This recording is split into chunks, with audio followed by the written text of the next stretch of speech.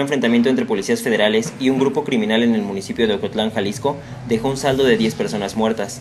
De acuerdo con las autoridades, cinco de los fallecidos eran elementos de la Gendarmería Nacional, tres presuntos integrantes del crimen organizado y dos civiles ajenos al enfrentamiento. Usuarios de redes sociales compartieron imágenes donde se escuchan las detonaciones del enfrentamiento, que de acuerdo a un comunicado emitido por la Policía Federal ocurrió cerca de las 21 a 15 horas, cuando elementos federales a bordo de siete vehículos realizaban un patrullaje por la zona. Según la versión oficial, una de las unidades federales pasó junto a un vehículo de color blanco, desde donde dispararon contra los agentes sin mediar palabra.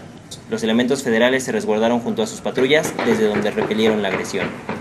Además de los fallecidos, el enfrentamiento dejó un saldo de ocho lesionados, todos pertenecientes a la división de la Gendarmería. Uno de ellos se reporta grave. En el lugar se aseguraron siete armas largas, cuatro granadas de fragmentación, además de cinco vehículos.